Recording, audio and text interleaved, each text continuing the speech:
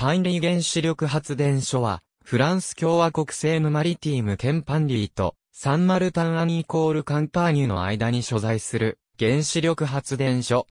施設は、英仏海峡南岸の険しい崖を掘削整地した麓にあり、ディエップから東北へ 10km、アブビルから西南へ 50km に位置している。パンリー原子力発電所は、パンリーの近傍に築かれ230ヘクタールの面積を有し、冷却水を英仏海峡から取水している。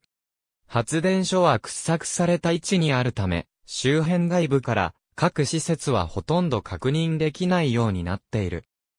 発電所は、バルーズを掘削整地して築かれており、方言でエストラと呼称される浜と、中ロニアン期に形成された白亜の崖に建設された。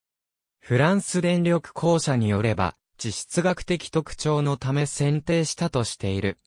署内には、産業利用と高速移動を目的として台上にある入り口から各施設区域まで通じるスカイレール社製のケーブルカーが付設されている。高度差100メートル、距離287メートルで55人乗り、風速制限を超えない限り完全自動で24時間運転している。発電所には2機130万キロワット級の加圧水型原子炉が1990年と1992年にそれぞれ運転開始している。パンリー原子力発電所にはフランス電力の従業員約670人と下請け170人が働いている。2004年6月9日、低濃度放射性物質が原子炉の二次系統にある予備タンクから海面に流出する事故が起きる。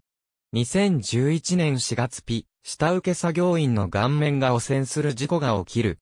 2012年4月5日、10代の消防車が原子炉建屋内のボヤに出動する。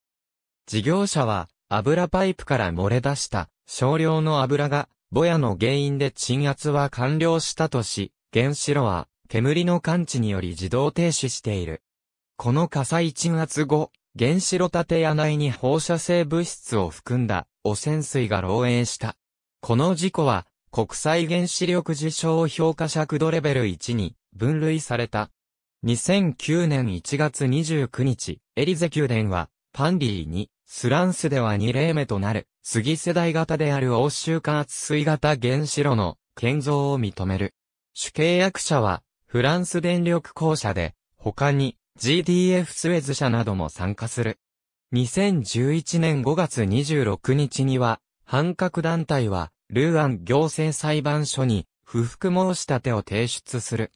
2011年5月に、クリストフとマルジェリー最高経営責任者は、福島第一原子力発電所事故を受けて、パンリー3号機について、事故結果の反映がなされるまで、建造の一時凍結を発表する。フランス総労働同盟ディエップ支部のステファン・ボーフィス支部長は、福島での事故情報が反映されるまで6ヶ月の時間が必要であると述べる。2011年10月に開始されなければいけなかった ERP 原子炉プロジェクトの民意調査は2012年に延期される。各原子炉の特性は以下の通り。ありがとうございます。